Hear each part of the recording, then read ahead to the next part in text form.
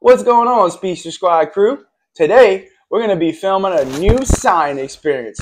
We call this the Dancing Grape Experiment. Taste, stay tuned to see how it works. Today, we're going to try a new experiment that's all about water density. So today, we're going to try the Dancing Grape Experiment. So this is a very simple, very simple experiment to do. To get started, Isaac, all we need is a little over a teaspoon of baking soda. You want to hold a spoon? Ready? So we dump that in there like that. Now pour it in. And let's do this one too.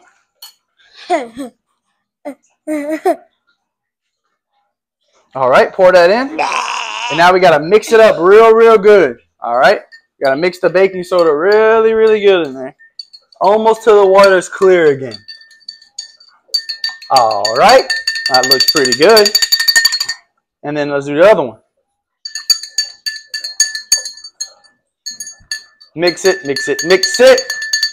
We're mixing, we're mixing, we're mixing. All right, cool. Done with that for now. Our next step, what we gotta do is pour the grapes in. Those are magic grapes. These are real grapes. Pour that in. All right. And let's pour this one in too.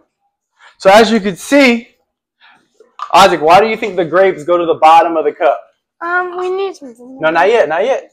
Why do the grapes go to the bottom of the cup? Do you know? Well, because they don't like this. No, because the, the grapes are heavier than water. So Yeah. the density of the grapes makes the, the, the grapes... Makes it makes my fingers super big. All right. The density of the grape makes it go down to the water. So what do you think is going to happen when we pop it with a little bit of vinegar? Huh? Um, it's gonna do dance, dance. It's gonna dance. So when we put that vinegar in there, about a quarter cup. Whoa. Ooh, that's fun. That's You might have a little bit of overthrow. What's going to happen? Let's see. It's going up and down. It's going to start moving and dancing. You see that? That's pretty cool, right? That's why it's called the dancing grape.